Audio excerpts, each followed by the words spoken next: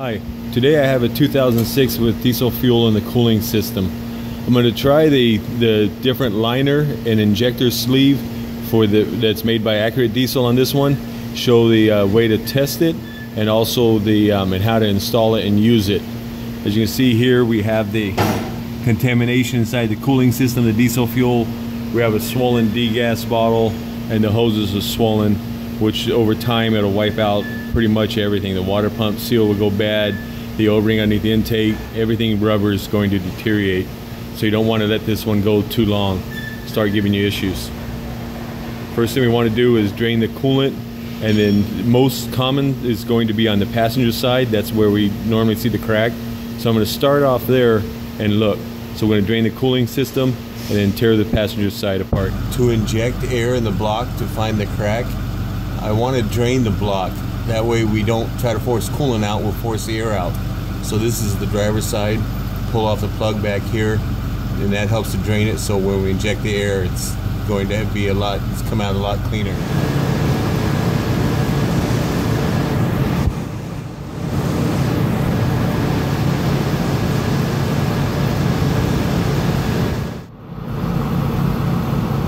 Okay, go ahead and turn it on. More. All right. That's good. Thank you. Pump it up. And remember, it's going to take time because it's just air. So it's going to take a whole lot more effort to get it pumped up.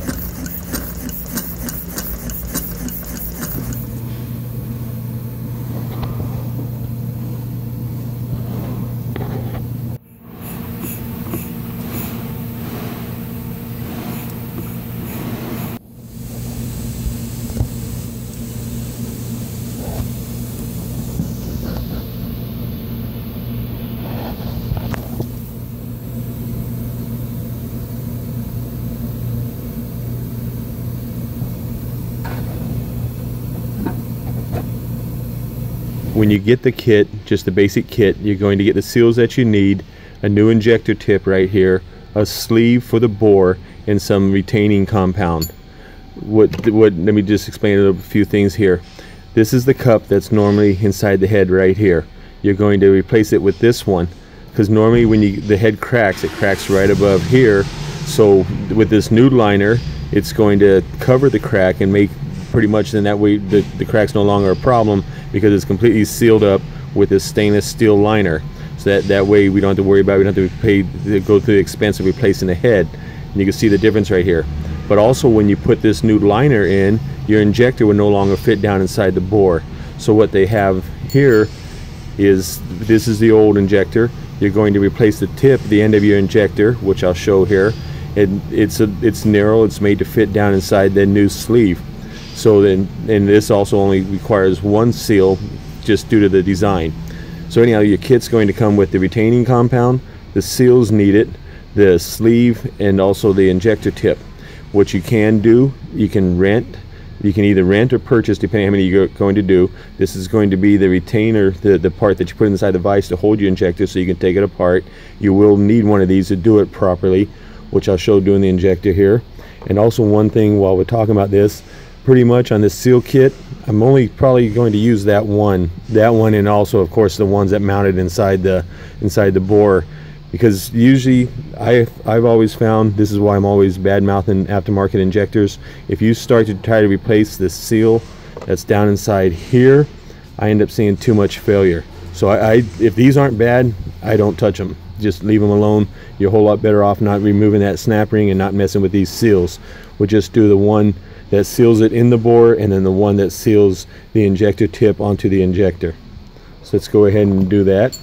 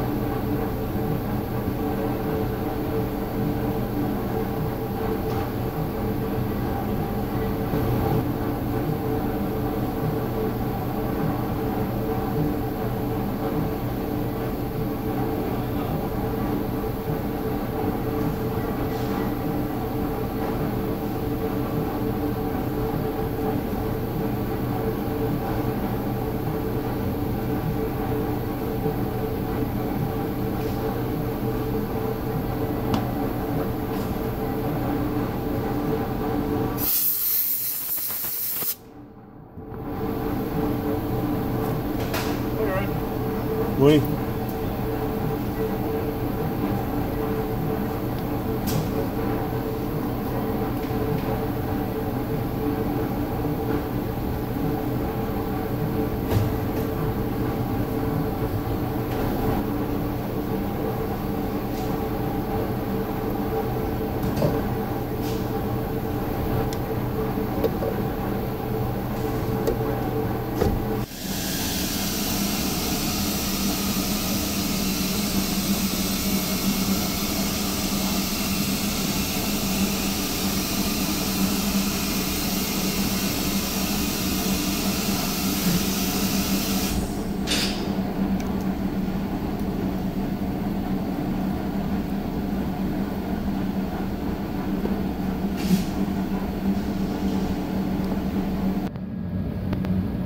To remove the cup, I just use the standard tool here that I got from freedomracing.com. They also can rent them down there at Accurate Diesel if you need them.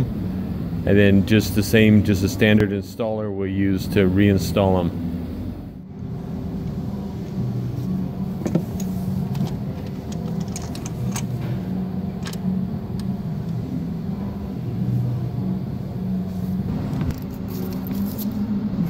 starting to get some real resistance.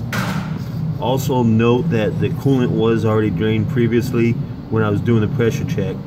Want to make sure the coolant's drained so you don't get a little water, a bunch of water into the cylinders. Switching it from the 9 16ths here that I was driving the, the tap down into it to the 11 16ths to where I'm going to turn it and pull it out.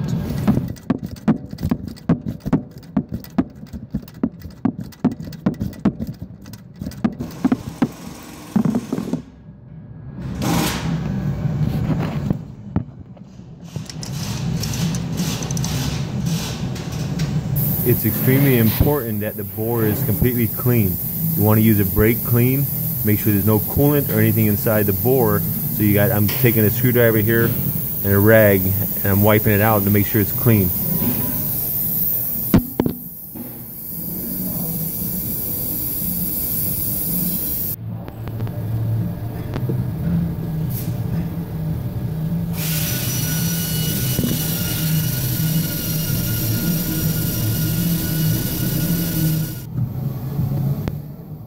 retaining compound on.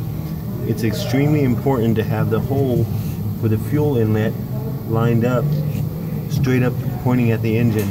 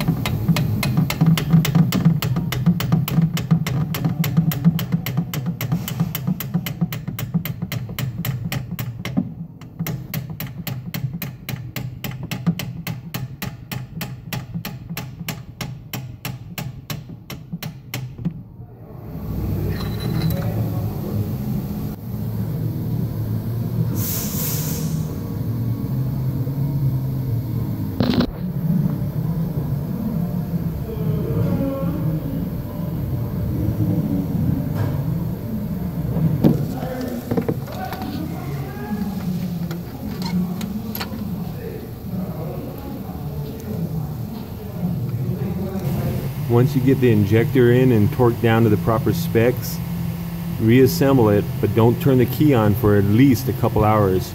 You want to give it a little bit of time to set up so the fuel doesn't contaminate your, your sealing compound. Okay, here we have it all back together, monitoring cylinder contribution. Have no problems with the injector that I took apart and resealed. The sleeve made absolutely no difference in the performance. I don't see any cylinders drip, dipping or dropping or any other issues, including when I was driving it. So everything's turned out good here. I'm going to make a video on showing how to flush them when they have a contaminated cooling system. Some uh, pointers on that. And hopefully this helps you out, gives you an alternative to replacing a cracked cylinder head. If you do like my videos, please like and subscribe. Thank you very much.